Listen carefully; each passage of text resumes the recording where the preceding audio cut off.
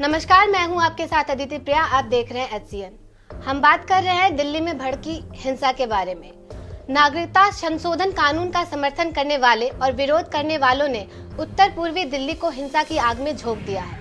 उत्तर पूर्वी दिल्ली के कई इलाकों में बीते तीन दिनों से जारी हिंसा में अब तक 20 लोगों की जान चली गई है, जिसमें दो पुलिसकर्मी भी शामिल हैं। रविवार से जारी हिंसा में अब तक छप्पन पुलिसकर्मी समेत 200 से अधिक लोग घायल हो गए हैं। नॉर्थ ईस्ट दिल्ली के जाफराबाद, मौजपुर, बाबरपुर और चांदबाग में लगातार हिंसा की वजह से प्रशासन ने धारा 144 के साथ साथ अगले एक महीने तक कर्फ्यू लगा दिया है।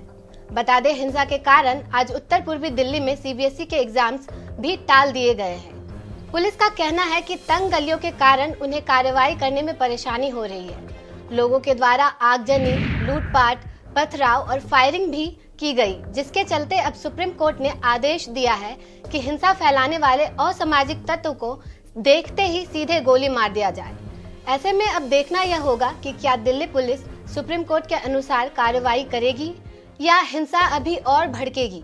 और बड़ा सवाल यह भी है कि दिल्ली में हिंसा का सिलसिला आखिर कब तक रुकेगा?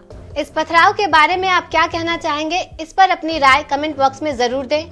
वीडियो को लाइक और चैनल को सब्सक्राइब करना ना भूलें।